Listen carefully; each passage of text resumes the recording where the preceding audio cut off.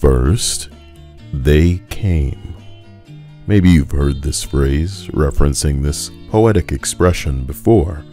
It may not be a big deal now, but for those of us who can recognize patterns in TV, in movies, and games, in the economy, but most importantly, in groups of dyed haired people who screech about inclusion and equality, yet exclude and dismiss people based on what they are. These people like to ask, What does woke mean to you? It doesn't matter what you answer, unless you agree. You are not an ally. In January of 2016, MTV believed the word woke a necessary part of vernacular for young people. That was seven years ago now, and the assumed definition of woke was to figuratively be awake, alert, or aware of cultural issues.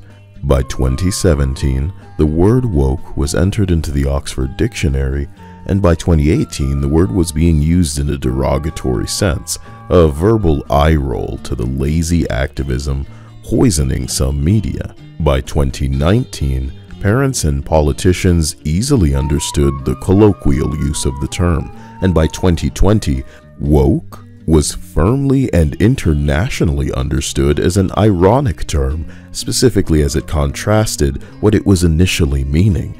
Only the confused, lonely Twitter shut ins and Reddit moderators would be confused about how people mean it these days, and in fact are often quick to anger at the very use of the term because they reject how the majority defines it.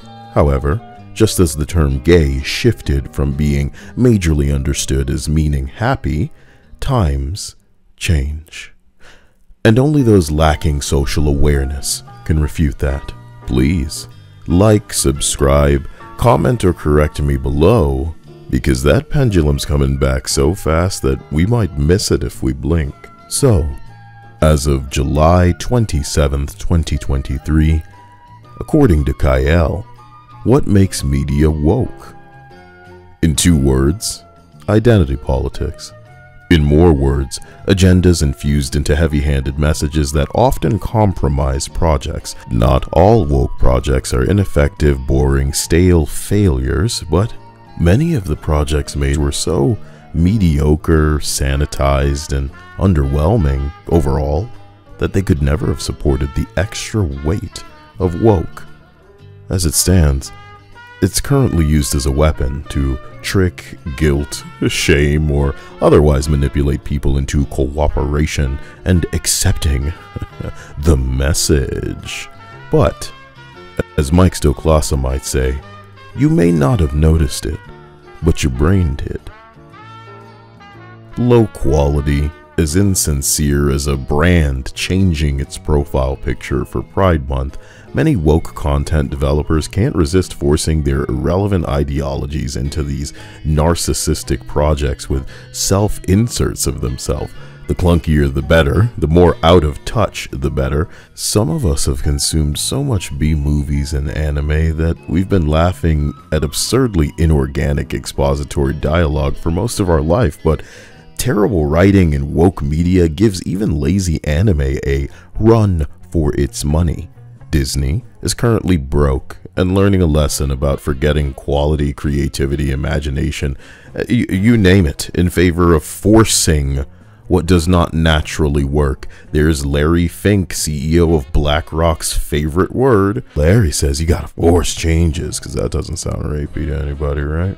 See, woke is a spirit of offense to things as they are, and the list of unacceptable offenses grows exponentially every day. This is why you can't name a comedian anymore because none of them are truly even allowed to be funny.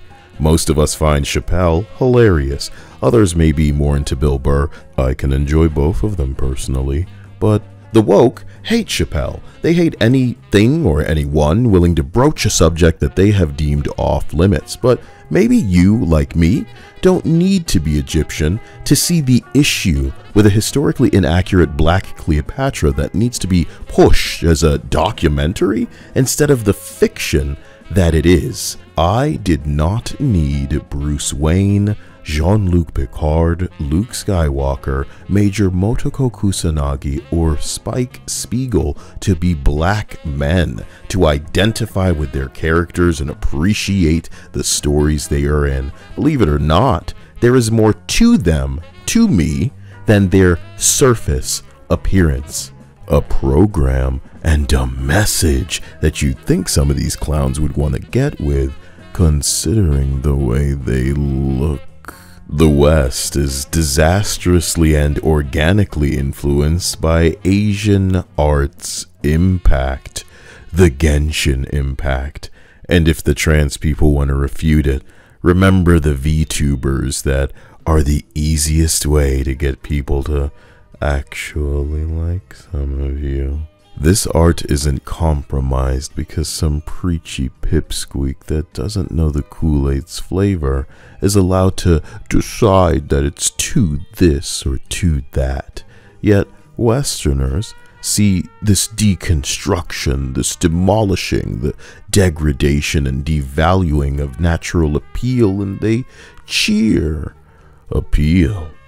Asians, AI, anime, and now aliens have gifted us data that will not be ignored, not by the media that survives anyway, because currently, many kids that might have had decadent Western toys and games to obsess over are finding nourishment in foreign media. You know, they're being pumped full of shitty pride garbage at school, and what choice do they have? If you know film, you know how impactful the works of Ghibli, Satoshi Kon, Kentaro, uh, Masamune Shirow have been. How on brand for the woke Westerners to take offense to Scarlett Johansson being cast as the Major in the Ghost in the Shell movie. The whole point is that appearance isn't everything. This is an assumed form in the context of that story. But Ironically, deliciously, no one can tell you narcissistic fools that you're wrong, because you always know better, as you habitually fumble and faceplant. In the West, projects are deliberately developed with the intent to indoctrinate and manipulate the viewer, often child audiences specifically, into whatever the BlackRock, Hollywood, or foot fetish degenerates that represent these entities regard as the right way of thinking. They admit they regard the consumer as uneducated and they're to teach a lesson. And the platform they choose, bizarrely, is entertainment. The type that the everyman has to, in one way or another, pay for. So they're paying for uninspired, out of touch, overly sanitized, politically correct trash. With, might I add, deliberately ugly women with shorter hair and broader shoulders, bigger jaws, Adam's apples, you know, a dick and balls. you can't captivate anybody right now, so you don't have to ask if it'll be remembered.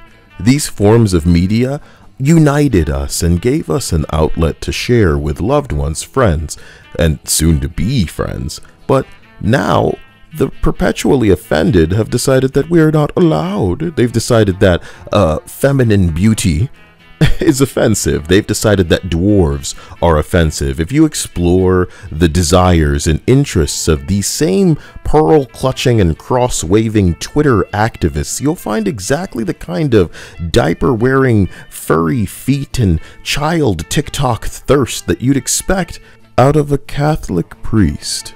Rest in peace, Sinead O'Connor.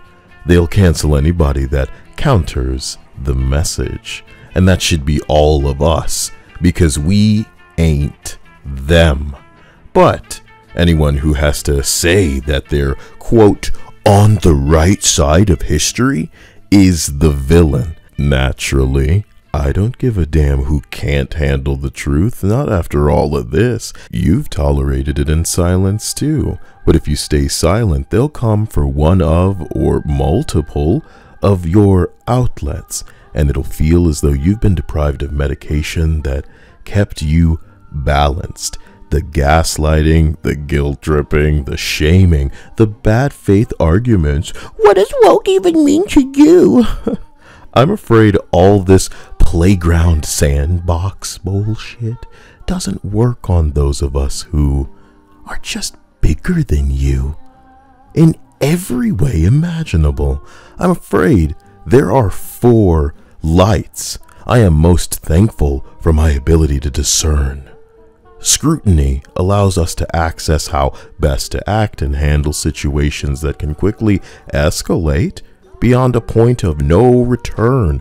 Most of us are not cops, so we want to de escalate most of the time because there's no telling who's the most unhinged person in the room and who needs the smallest push. We only have one life with no one ups out in this bitch. Lately, not only are these selfish, diverse types ruining media by demanding dinosaur removing changes from the Jurassic Parks that they're adapting, they're so the, the narcissism is so potent that in their mind, they are truly capable of better with anything that they touch, while paradoxically, they could not create anything and have it gain any traction on their own. That's, of course, why they are forced to seize these pre existing properties like The Witcher or Snow White, Snow Brown now, only to fundamentally strip everything that made it what it is and likable right out of it. Disney promised us one thing and then, you know, it's a lie, baby. What, what do you want? You know what I'm saying? Are these people inclusive enough? Is this diverse enough? We're, we're talking about equality, but you're not getting it. I'm over it. It's time to kick and laugh at these people because y'all had it coming. How many times we're, we're, we're a parent at this point telling our kid not to run in the damn hallway and then he hits the wall. What are we supposed to do? Laugh and say, I told you so. That's part of the parenting.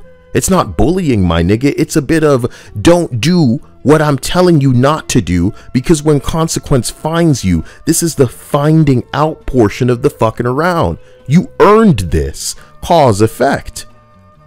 You want to dismantle, you want to deconstruct, you want to demonstrate demonstrably how devilishly dumb you are. Listen, manga out here running circles around you dumb motherfuckers. You used to know what graphic novels were and how to appeal. But now manga is dominating the very comic book industry that used to inspire fans. The comic book industry willingly bent over and arched that back with identity politics, garbage writing, forcing terrible and unpopular characters like Kamala Khan is exactly why YouTubers are outperforming your sorry asses. And they deserve it too. Creators seize what is available to them in ways that you can't. These audiences are ripe. They're telling you what they want. No, it's never been easier with the way that the internet is now, but you're refusing them. You're refusing to supply what they demand. You've got it, but you just don't want to give it. You're repelling instead of selling. You didn't need to dig this stuff up and desecrate it, put a wig on it, attempt to get us to refer to it as courageous and brave. it's not. You're not. What, what more is there to say? I love you. I I can't even get to the aliens thing in this video. This would be too long. I, I honestly, with how bad media is and how dead Disney wants to be and how ugly women got to be in the video games, you'd think that there'd be like uh, a Michael Jackson to dangle a baby off a balcony. So I don't blame people who, th who think this government stuff with the UFOs or the UAPs is a psyop. You know what I'm saying? But I love you, and I think we should turn over a new leaf. Stay out of trouble. Bye. Like and subscribe, my God. Yeah. Oh, you. Oh, wow. Those are those are huge. Why don't you let those out? Giggity giggity boing boing. Shiggity.